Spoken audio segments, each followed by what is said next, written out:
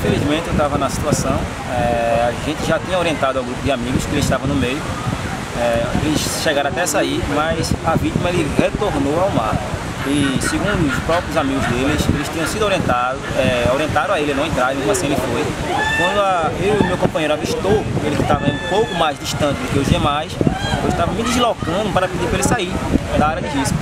E nesse deslocamento houve o ataque do tubarão. O senhor não teve medo e entrou no mar para salvá-lo.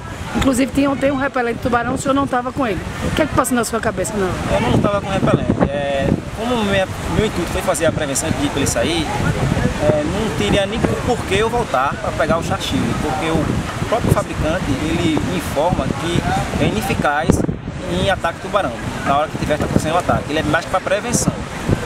E na situação de, de ataque tubarão, de imediato é, tem que temos, tentar conter a hemorragia. Né? É, na hora da adrenalina a gente não pensa muito os riscos que nós estamos correndo, né? a situação que a gente está passando ali de risco. Então, o nosso pensamento imediato é retirar a vítima do mar e prestar o primeiro socorro. Senhor acha que foi herói?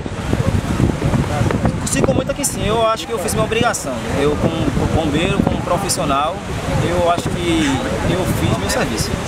Eu fiz meu serviço e graças a Deus deu, ele, assim, consegui retirar a ele com vida. Ele foi socorrido com vida, mas infelizmente ele veio a falecer. É, mas eu acho que o meu serviço, eu sou pago para isso, né? É, para fazer salvamentos e orientar e guardar a, a população. O senhor participou do resgate de, de, do rapaz em abril. É muito diferente, foi muito diferente um episódio de outro? Foi porque esta vítima estava um pouco mais distante do mar e a gravidade das lesões dessa, desse jovem foi muito maior.